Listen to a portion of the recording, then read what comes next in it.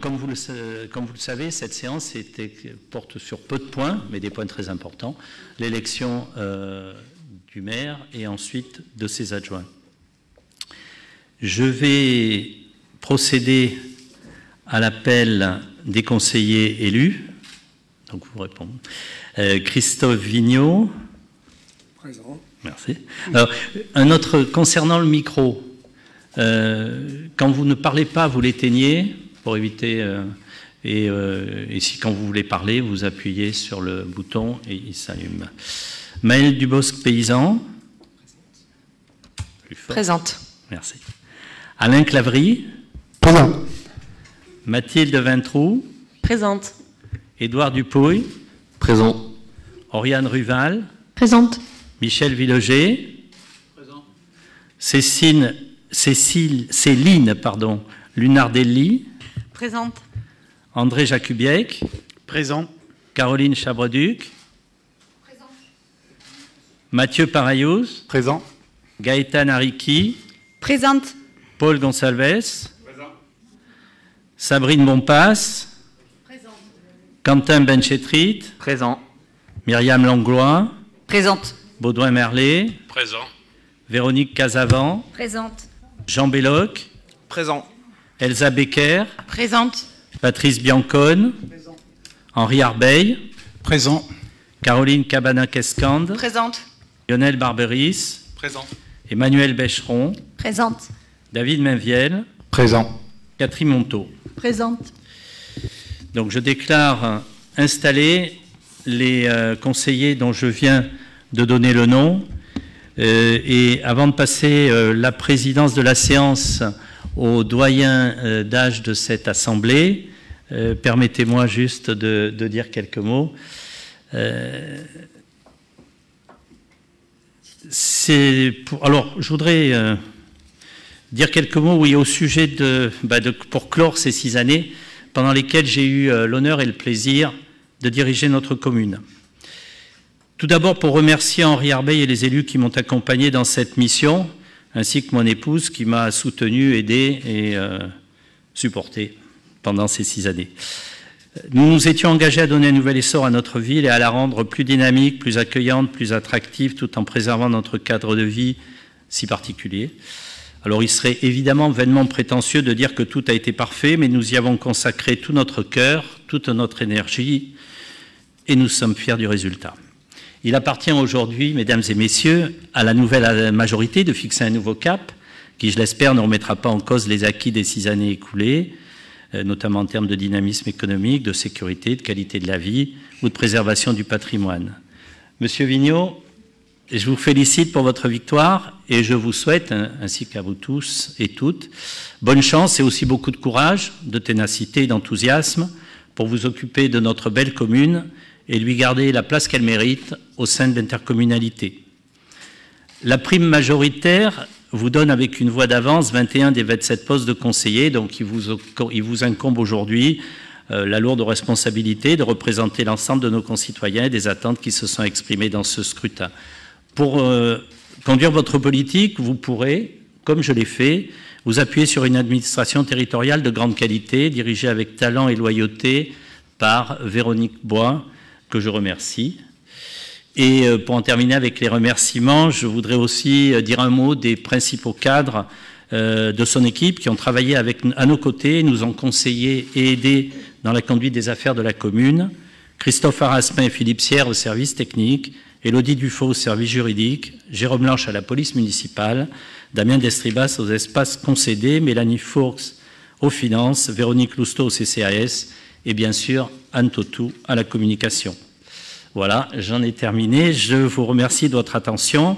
Et maintenant, conformément à l'article 21-22-8 du Code général des collectivités territoriales, je cède la présidence de l'Assemblée, au doyen de notre Assemblée, M. Baudouin Merlet, qui va procéder à l'élection du maire. Et moi, je vais aller m'asseoir dans le public.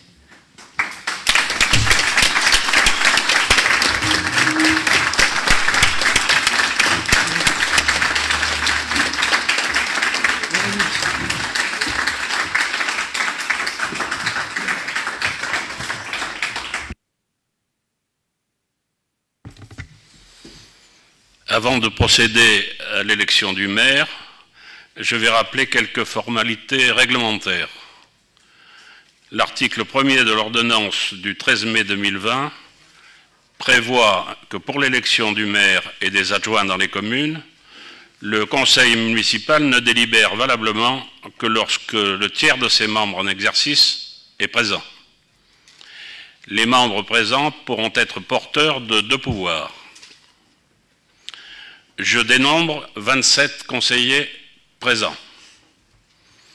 Je constate donc que le quorum est atteint. Conformément à l'article L2121-15 du Code général des collectivités territoriales, au début de chacune de ces séances, le Conseil municipal nomme un ou plusieurs de ses membres pour remplir les fonctions de secrétaire. Qui souhaite être secrétaire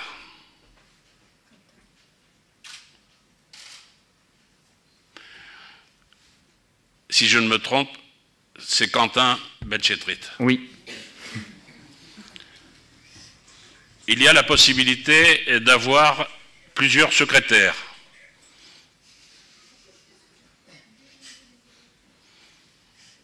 Y a-t-il des souhaits? Le conseil municipal désigne donc Quentin Benchetrit, secrétaire de séance.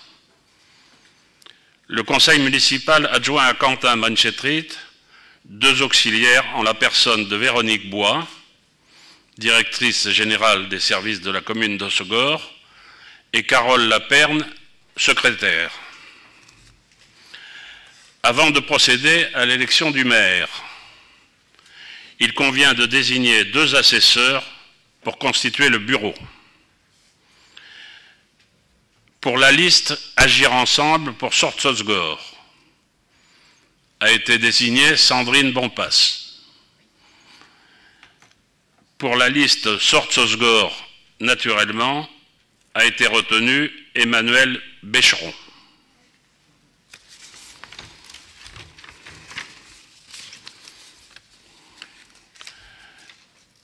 Un petit rappel. Le maire est élu au scrutin secret, article L 2122-4 du CGCT, Code général des collectivités territoriales, et à la majorité absolue parmi les membres du conseil municipal. Si après deux tours de scrutin, aucun candidat n'a obtenu la majorité absolue, il est procédé un troisième tour de scrutin et l'élection a lieu à la majorité relative. En cas d'égalité de suffrage, le plus âgé est déclaré élu, selon l'article L2122-7 du CGCT. La majorité se calcule non pas par rapport à l'effectif légal du Conseil, mais par rapport au nombre de suffrages exprimés. Des comptes faits des bulletins blancs et nuls. Je demande qui souhaite être candidat à la fonction de maire. Je souhaite être candidat à la fonction de maire. Donc, Christophe Vigneault. Des bulletins de vote ainsi qu'une enveloppe vont être distribués à chaque conseiller municipal. Je fais un petit retour. Y a-t-il qu'une seule candidature? Bon.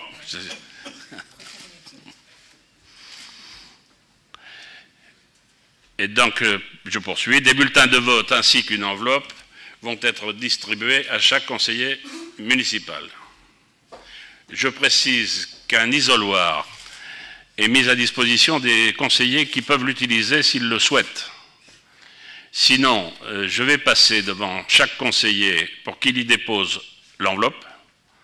Il va constater sans toucher l'enveloppe que le conseiller, c'est-à-dire je vais constater sans toucher l'enveloppe que le conseiller municipal a déposé lui-même dans l'urne.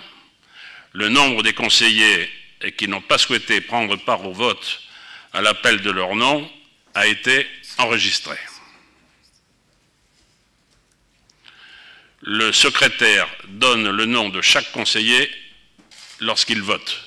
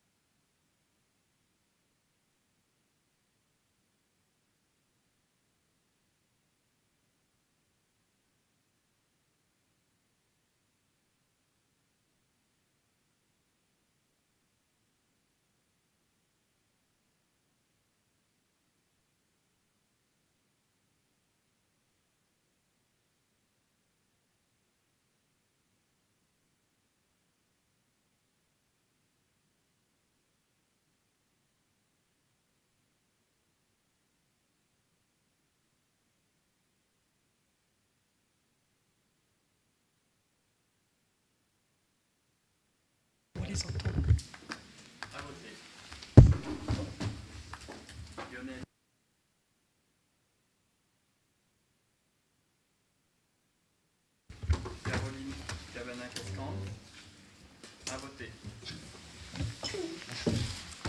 Henri Arbeil.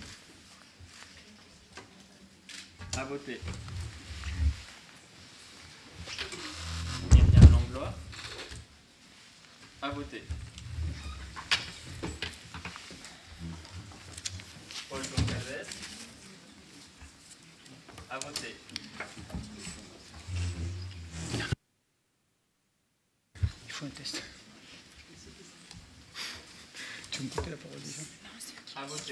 interested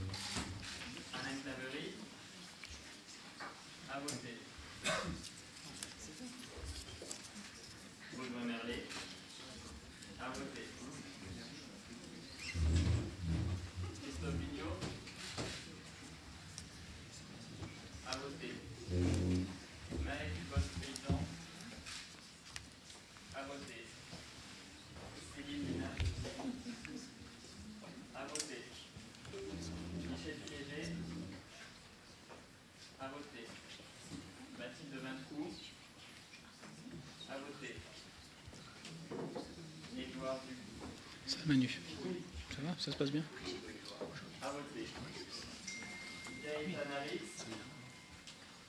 À voter. Patrice Cohen. À voter.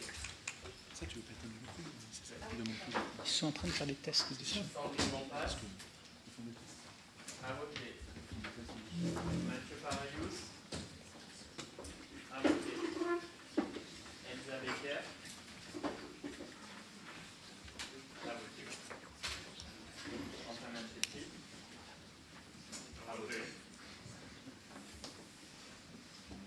Chabrody.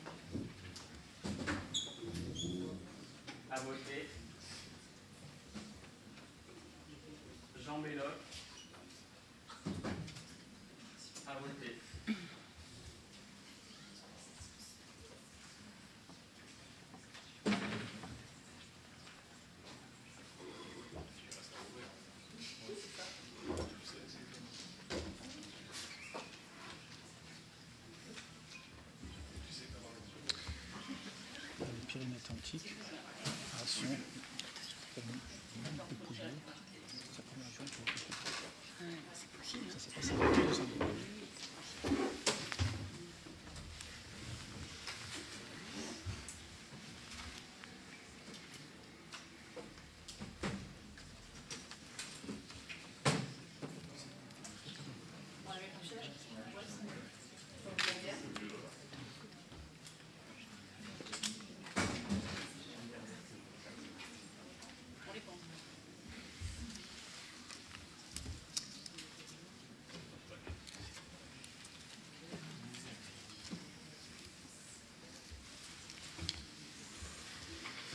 C'est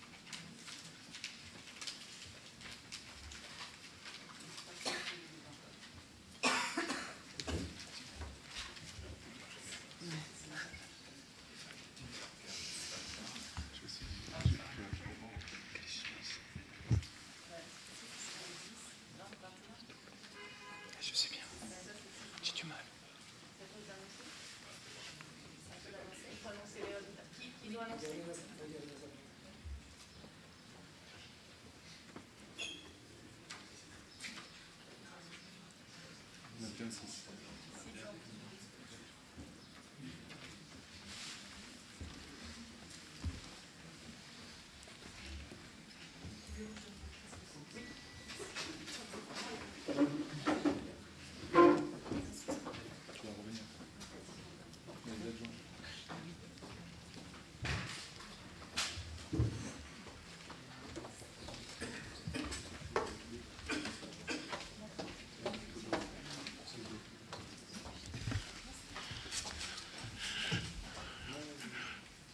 Le dépouillement de ce vote euh, donne 21 bulletins euh, pour Christophe Vigneault et 6 bulletins blancs.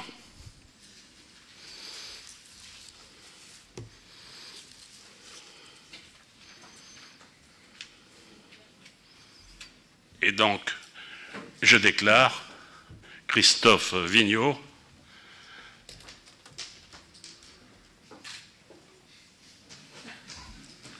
maire de la commune de Sortzesgor.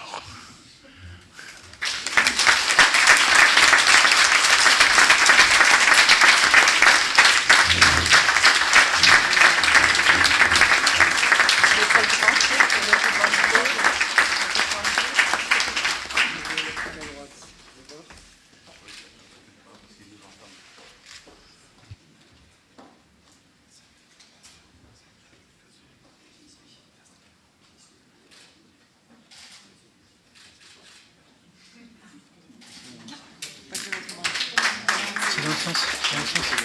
C'est dans l'autre sens. C'est à l'envers. C'est dans l'autre sens.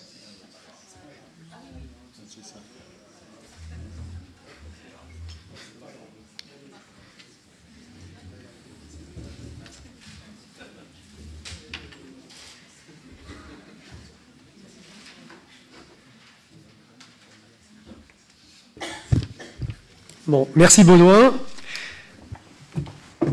Avant de continuer et de procéder au déroulement de, la séance, je voudrais juste dire quelques mots. Euh, donc, euh, je voudrais tout d'abord souhaiter une bonne continuation à Xavier Gaudieu après ce mandat qui s'achève. De plus, je voudrais souligner son fair play pour m'avoir permis de rencontrer dès cette semaine une partie des équipes. C'est avec beaucoup de fierté, mais aussi avec beaucoup d'humilité que je prends ces fonctions de maire aujourd'hui. Je suis particulièrement heureux d'être à la tête de la ville euh, que, j'aime profondément. Et cette émotion, je la partage avec mes colistiers, à qui je veux adresser ici euh, euh, ma profonde reconnaissance. Je veux aussi remercier l'ensemble de l'équipe, remercier cette équipe qui a beaucoup travaillé, qui ont passé du temps, de l'énergie dans cette campagne qui fut très longue. Je voudrais aussi remercier de tout cœur tous les électeurs qui nous ont fait confiance, ainsi que mes amis, mes proches et tous ceux qui ont contribué à notre succès. J'ai réellement conscience de l'ampleur de la tâche et nous allons inscrire le mandat qui débute dans un esprit de collaboration, de bienveillance et d'écoute. Toute l'équipe est désormais à votre service et sera mettre à profit l'ensemble de ses compétences. Je m'engage au nom de l'ensemble des conseillers réunis ce soir à mettre en œuvre tout le dynamisme et la rigueur nécessaires à l'intérêt de notre commune. À mes adversaires de l'élection, je voudrais dire que la démocratie, c'est le débat. Ils ont un rôle essentiel à jouer dans cette enceinte municipale. Et je souhaite vivement que nous puissions travailler sereinement et ensemble. La saison est lancée. Nous devons réserver le meilleur accueil aux vacanciers qui seront certainement nombreux cet été, à choisir notre belle commune tout en appelant à la prudence face à l'épidémie du Covid-19. Permettez-moi d'ajouter une petite note personnelle et de remercier mon épouse, mes enfants qui m'ont tant soutenu et encouragé dans, dans ce combat, et je ne serai pas là sans eux. Pour conclure, je connais vos attentes et je m'appliquerai à tout faire pour y répondre. Très bel été à tous. Et avant de passer à l'élection des adjoints, je vais laisser la parole à Henri Arbeil qui souhaitait dire quelques mots.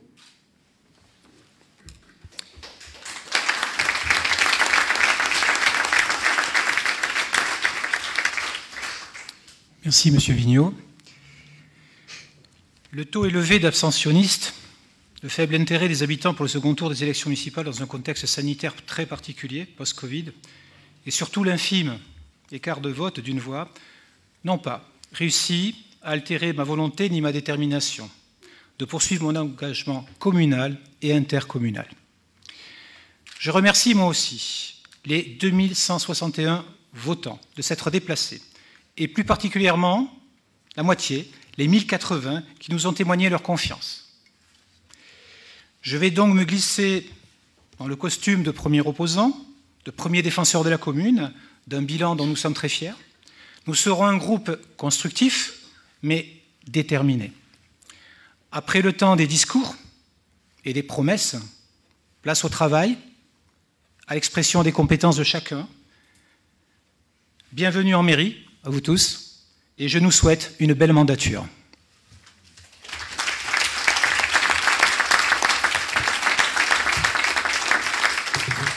Merci. Donc aujourd'hui, notre priorité est de, nous mettre au service de notre population. Et je pense que nous sommes tous portés par une dynamique commune. Donc, en tant que président de cette Assemblée, nous allons poursuivre le déroulement de cette Assemblée avec la fixation du nombre d'adjoints. Le nombre d'adjoints est fixé librement par le Conseil municipal, mais il ne peut exercer 30% de l'effectif légal du Conseil municipal, arrondi à l'entier supérieur, inférieur. Article L 21 22 2 du CG, CGCT, dont 27 conseillers, fois 30%, ce qui nous donne 8 adjoints maximum. Les adjoints sont nommés pour la même période que le conseil municipal, article L 21 22 10 du CGCT. Je propose donc de fixer à 8 le nombre d'adjoints. Qui est pour? Qui est contre? Qui s'abstient? Donc 6 abstentions et donc à l'unanimité, le nombre d'adjoints est fixé à 8. À la majorité, pardon. Excusez-moi. Le nombre d'adjoints est fixé à 8. Les élections des adjoints. L'élection des adjoints se déroule au scrutin de la liste à la majorité absolue, sans panachage ni vote préférentiel. Article L 21 22 7 du 2 du Code général des collectivités territoriales.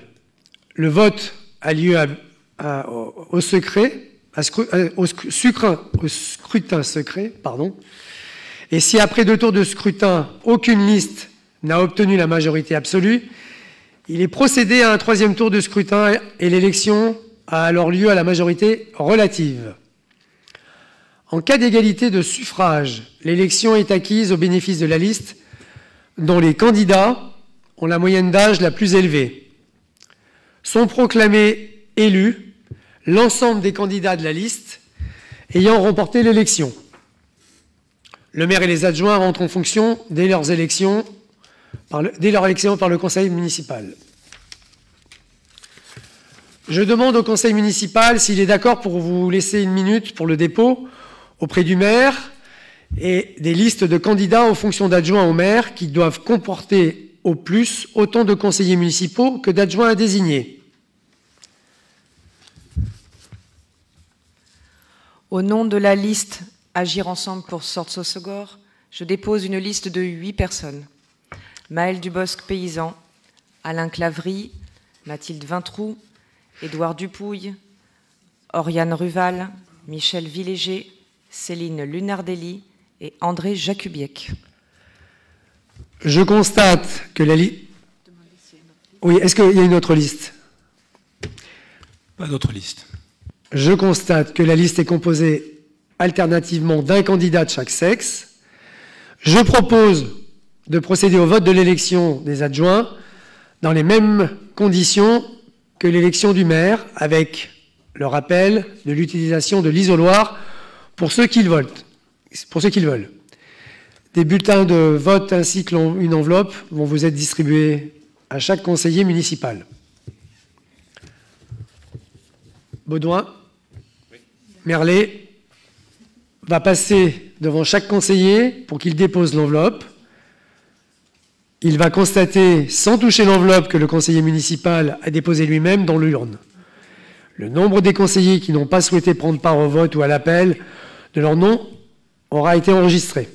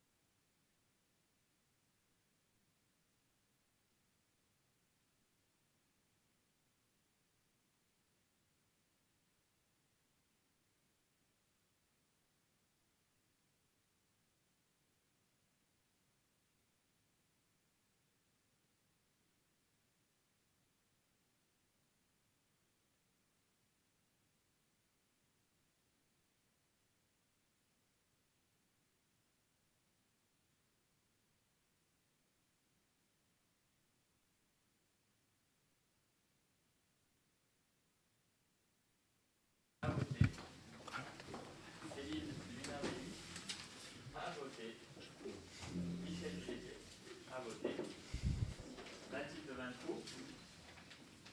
À voter. Édouard Pouzy. À voter. Gaëtan Harry. À voter. Patrice Biancol? À voter. Sandrine Bonpasse. À voter. Mathieu Parayous. À voter. Elsa Baker. À voter.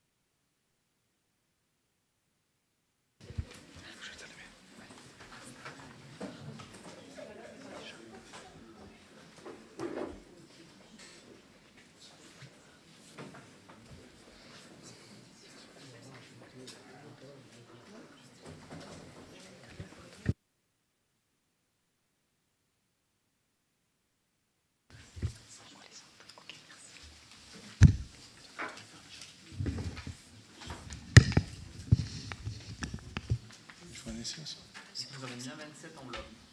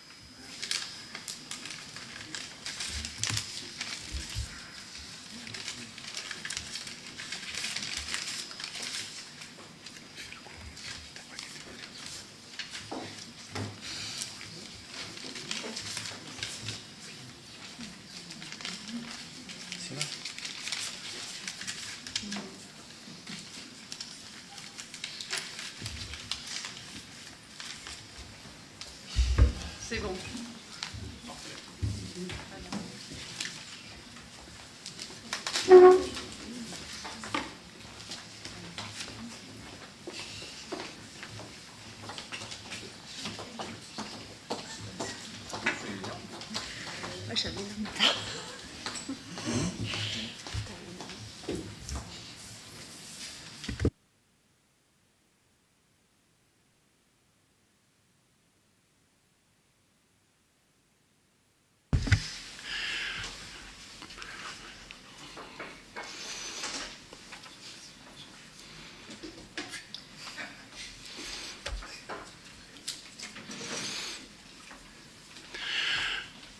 Le dépouillement concernant les adjoints au maire, huit adjoints, euh, donne résultat euh, 6 bulletins blancs et 21 euh, en faveur des huit adjoints retenus. Je programme les adjoints immédiatement installés, les candidats qui figuraient sur cette euh, liste conduite par Maël Dubosc Paysan.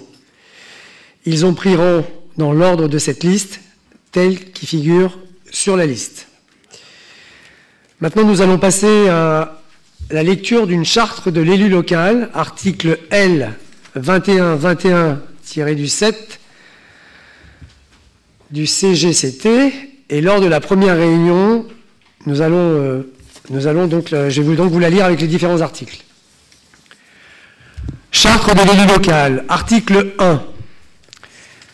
L'élu local exerce ses fonctions avec impartialité, diligence, dignité, probité et intégrité. Article 2. Dans l'exercice de son mandat, l'élu local poursuit le seul intérêt général à l'exclusion de tout intérêt qui lui soit personnel, directement ou indirectement, ou de toute autre intérêt particulier. Article 3. L'élu local veille à prévenir ou à faire cesser immédiatement tout conflit d'intérêts. Lorsque ces intérêts personnels sont en cause dans les affaires soumises à l'organe délibérant dont il est membre, l'élu local s'engage à les faire connaître avant le débat et le vote. Article 4. L'élu local s'engage à ne pas utiliser les ressources et les moyens mis à sa disposition pour l'exercice de son mandat ou de ses fonctions à d'autres fins. Article 5. Dans l'exercice de ses fonctions, l'élu local s'abstient de prendre des mesures lui accordant un avantage personnel ou professionnel futur après la cessation de son mandat et de ses fonctions. Article 6.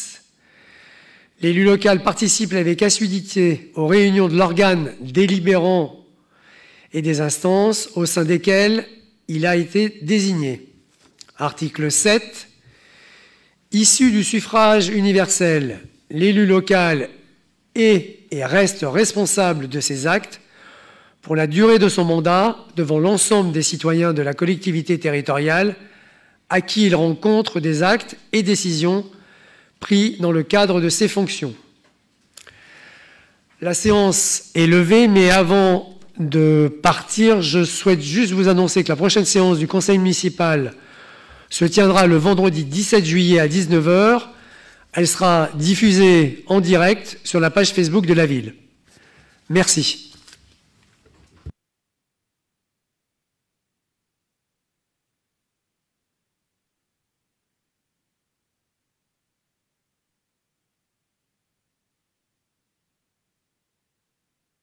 La séance est levée.